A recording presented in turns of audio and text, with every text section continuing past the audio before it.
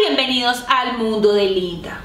Espero que hoy hayan tenido un día súper lindo y que les haya ido súper bien. Les cuento que estoy sufriendo muchísimo con el calor que está haciendo acá en México.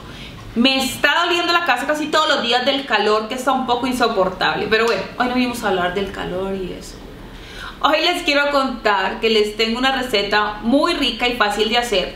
Les voy a enseñar a hacer unas deliciosas arepas rellenas de carne molida Ustedes me Linda, a mí me gusta la carne molida, pues lo puedes hacer con carne deshebrada o lo puedes hacer con pollito, le puedes poner camarones, bueno, es una opción que ustedes la pueden variar. Así que si quieres aprender a hacer estas arepas rellenas de carne que están así de fácil, no te muevas para que no te pierdas el paso a paso de este video. Bueno, en una sartén vamos a poner a sal, fritar a la plancha la carne molida o puedes utilizar también carne deshebrada o carne asada, lo que ustedes gusten. Lo apagamos y mientras vamos a elaborar las arepas.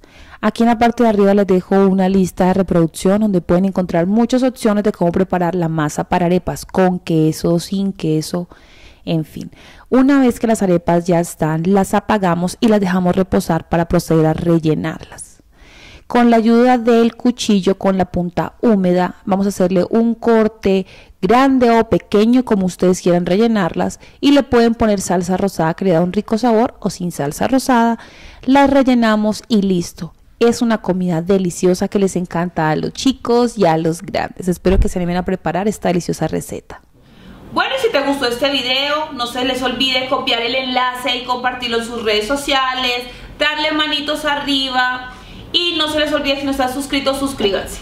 No se les olvide comentarios, sugerencias, me lo pueden dejar, mí me encanta que ustedes me escriban y si tienen ideas de nuevas recetas que les gustaría que yo hiciera, también me lo pueden dejar ahí abajo y yo me organizo para hacerles sus recetas.